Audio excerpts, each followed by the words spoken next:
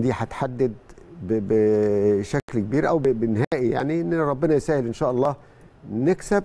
يبقى إحنا كده اطمأنينا إن بإذن إحنا الله. يعني كلام حضرتك يا كابتن فتحي بيصب في إنه بالرغم من إن المريخ متزايل الترتيب بنقطة وحيدة في أربع جولات إلا إنه لأ المنافسه ممكن تكون آه طبعاً. قوية جدا آه. وقد تحدث مفاجآت. ومش ده المريخ آه اللي إحنا كسبناه هنا ثلاثة لا لا أكيد لا. هتلاقوا شكل تاني مم. هتلاقوا روح تانية هتلاقوا أداء تاني على من أرض وسط جمهور من الستة مم. اللعيبة اللي هم بتوع المنتخب الدوليين. اللي وصلوهم إنك يكسبوا جنوب أفريقيا وما ما كسبوش فرقة صغيرة طبعاً. يعني إنهم يكسبوا جنوب أفريقيا وبهدفين فدي أكيد اللعيبة دي معنوياتها عالية جدا وإمكانياتها وإعدادها عالي جدا فدي هتكون لهم دوافع دي الدوافع بتاعتهم الدوافع عندنا بقى آه، البطولة.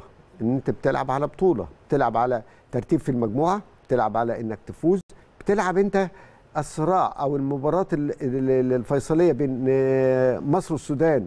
مباراة كرة قدم. هي مباراة في كرة القدم لكن الناس بتحبها كده. هتروح هناك في السودان هتلاقي جمهور من السودان يا كابتن هاني وأنت كنت بتلعب بيشجعوا النادي الأهلي. لأن في جمهور هناك بيشجع الأهلي.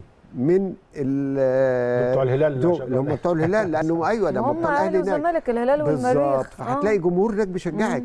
إذا أنت مش مش بتلعبي في منطقة بعيدة مم. بقول أنا مش شبهتها بأسوان إنك هو لما تروح بالرغم عن لسه عدد الجماهير لسه ما يعني ما تمش السماح أعتقد هيبقى 1000 بيقولوا تقريباً ألف في واحد ألف، آه. ان هو يخش بس آه، ومن الأرترس اللي هم بتوعهم. لكن أنا أشك ان ممكن حتى لو وافقوا بالألف أنا ما بقولش الجمهور ده هو اللي هشجع الاهلي أنا بقول جمهور السودان كالسودان بشكل لا. عام. آه أنا ب- بحط السودان بحط الخرطوم مم. كإنها جزء تاني زي القاهرة زي اسكندرية زي أسوان زي كده إنها جزء مننا يعني. فبقول هلاقي جمهور هناك بيشجع النادي الاهلي